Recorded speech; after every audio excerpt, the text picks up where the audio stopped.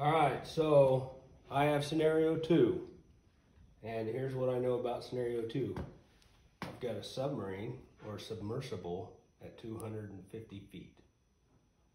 It starts a dive of 15 degrees and has a horizontal traveling distance of 1500 foot.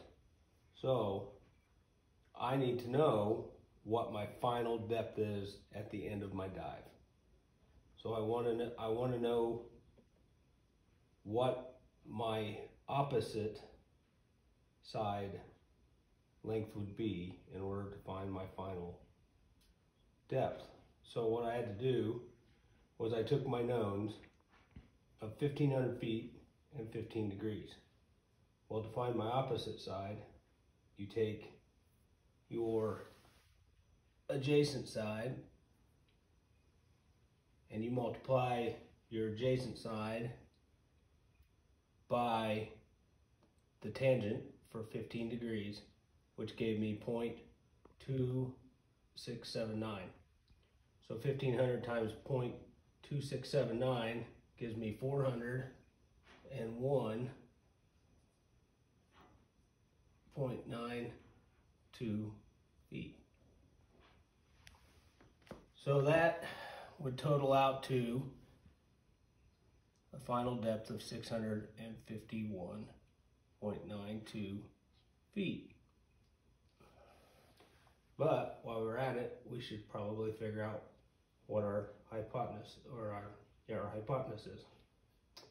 So to find my hypotenuse, I took my 1500 feet, I divided it by the cosine for 15 degrees, which is 0.9659, which gave me a hypotenuse of 1,552 feet, 52.91 feet. I could probably have rounded that up to 1,553, but I didn't. So that's my my hypotenuse. This is my opposite. This is my adjacent. This would be, this would be my angle A, which is 90. This is my angle B, which is 15. Angle C would be 75. You had 15 to 75, you get 90. 90 to 90 gets you 180. That completes the triangle. You have all your known sides you know, distance, and my total depth at the end of my dive.